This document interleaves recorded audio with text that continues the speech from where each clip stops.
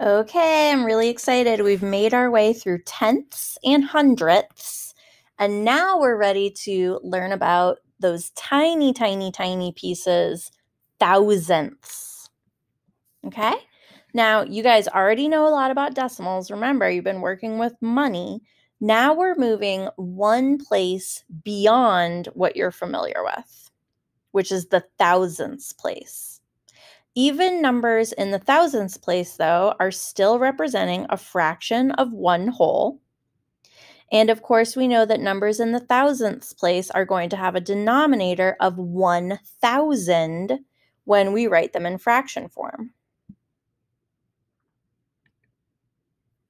Here's a visual model that shows you how tiny a thousandth really is. Here's our one whole, that's the square itself.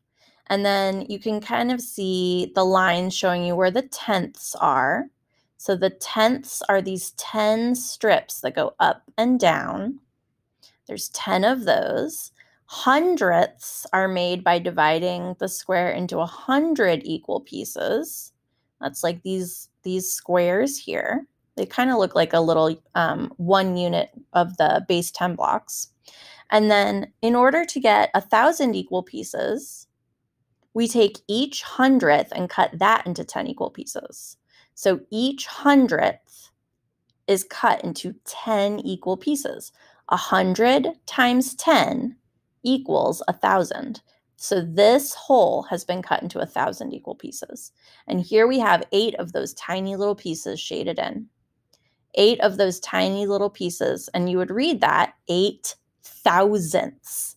We have nothing in our tenths place here. We have nothing in our hundredths place here, and we have eight thousandths. Okay, now make sure when you're pronouncing these, you're really emphasizing the thousandths, the THS at the end. So this number would be read five thousandths.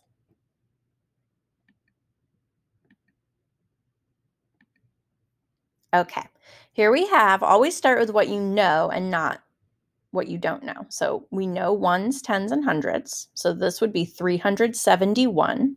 That's familiar. We have a decimal point. We're always going to read the decimal point by saying the word and. So I can pencil that in with my kindergarten rating. Okay. And 371 and now here I have two tenths, two hundredths, and or sorry, two tenths, six hundredths, and eight thousandths. I'm going to read that by reading this whole group of digits together 268, and then say the place value word of your last place value position 268 thousandths.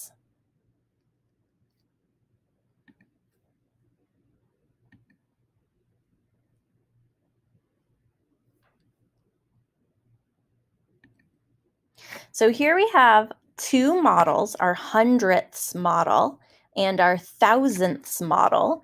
And this is just to try to bring your attention to the fact that each of our thousandths is one tenth the size of one hundredth. Thousandths are tiny, tiny, tiny little pieces. So this whole here has been divided into 100 equal pieces, and this whole here has been divided into a thousand equal pieces. And I also want to mention this to you because one thing we're going to be talking over and over again this year is the way our base 10 system is set up. Every time we move from one decimal position or one place value position to another, we're either going to be multiplying or dividing by 10. Since in this case, we're kind of thinking of it as being um, going smaller, like going from ones to tenths, and then from tenths to hundredths, and then hundredths to thousandths. In this case, we're dividing each unit by 10. We're cutting it each little um, model into 10 equal pieces to get smaller and smaller every time we go. So our one whole, eh, when we divide that into 10 equal pieces, we get tenths. When we divide our tenths into 10 equal pieces, we get hundredths. When we divide our hundredths into 10 equal pieces, then we get thousandths. So that would look like this. Here's one tenth. And when we cut it into 10 equal pieces, one tenth of one tenth is one hundredth. It kind of gets to be like a tongue twister after a while. So we're dividing by 10.